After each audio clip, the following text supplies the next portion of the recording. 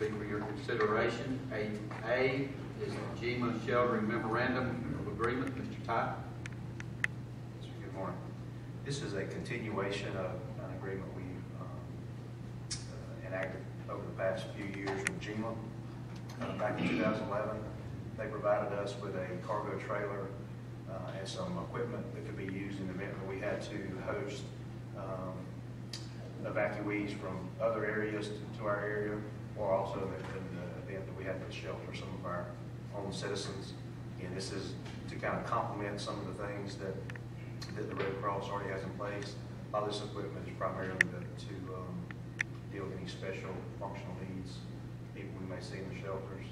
Uh, And as part of our, our agreement to serve as a host community, uh, this is before and we uh, had to host evacuees from evacuating either the Georgia or Florida coast. So I'd be glad to answer any questions you might have. Questions? Mr. Tye? All right, thank you very much.